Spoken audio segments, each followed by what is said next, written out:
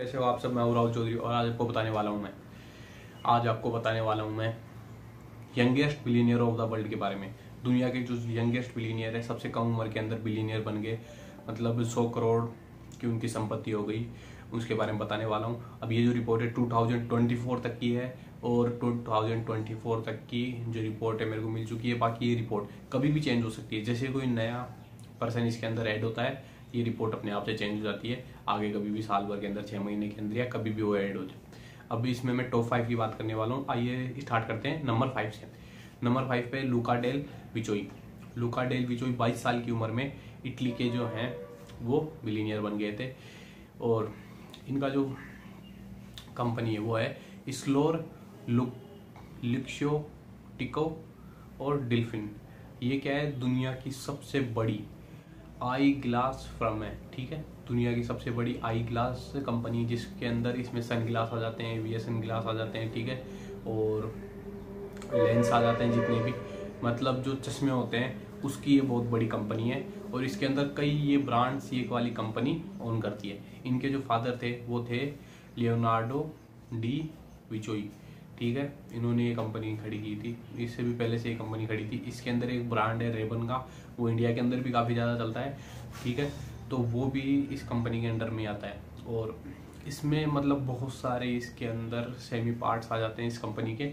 जैसे कि इसमें शायद गुच्ची अरमानी ये भी कुछ चश्मे जो मैंने इनकी वेबसाइट पे देखे हैं, वो भी इसमें आते हैं। दुनिया की बहुत बड़ी कंपनी है। तो उसके कारण ये जो है, वो बिलीनियर बन गए थे। ठीक है? अब नेक्स्ट बात कर लेता हूँ नंबर फोर पे केविन डेविड लेमन की। केविन डेविड लेमन 21 साल की उम्र में जर्मनी के जो हैं, वो बिलीनियर बन गए थे।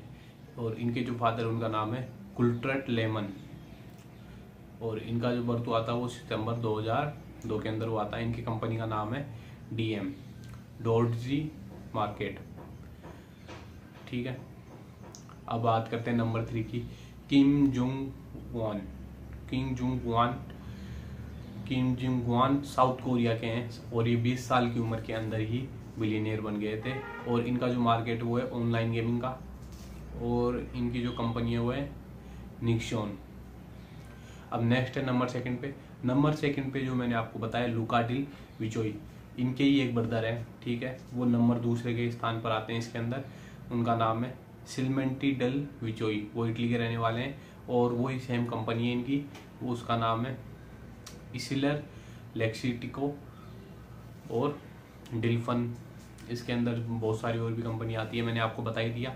और ये सन की दुनिया की सबसे बड़ी कंपनी इनके फादर का जो नाम है वो है लियोनार्डो डी विचोई और इनकी जो डेट ऑफ़ बर्थ है, वो है चौदह मई 2004 और ये भी ऑलमोस्ट उन्नीस बीस साल की उम्र के अंदर ही जो है, दुनिया के सबसे बड़े बिलीनियर बन गए थे। अब मैं बता रहे हूँ नंबर वन पे जो है बिलीनियर जो बना था, उन्नीस साल की उम्र में, उनके बारे में बताने वाला हूँ। उनका नाम है लिवियो लिवियो